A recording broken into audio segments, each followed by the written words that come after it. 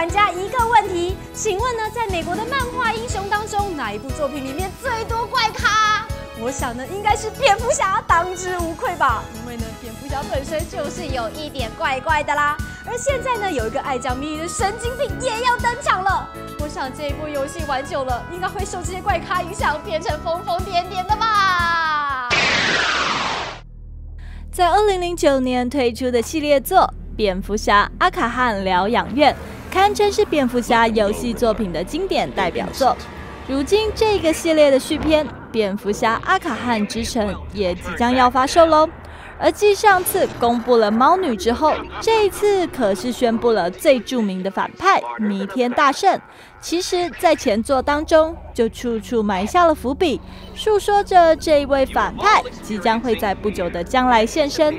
而果不其然，厂商就在这一款最新的作品中让他登场喽。在这个比前作还要大上五倍的游戏舞台，弥天大圣将会使用各种的难题来好好的招待蝙蝠侠。只要玩家在解救人质的途中稍一闪神，就会碰上死亡陷阱，落入失败的深渊。